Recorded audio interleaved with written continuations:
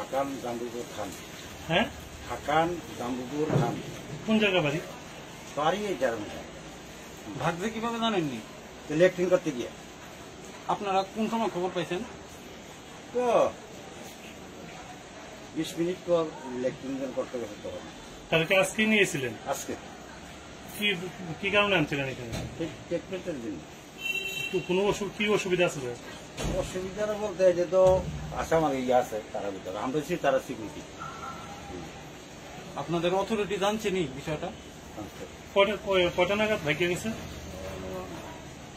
কটা বলব অনুমান? এগারো সাড়ে এগারোটা।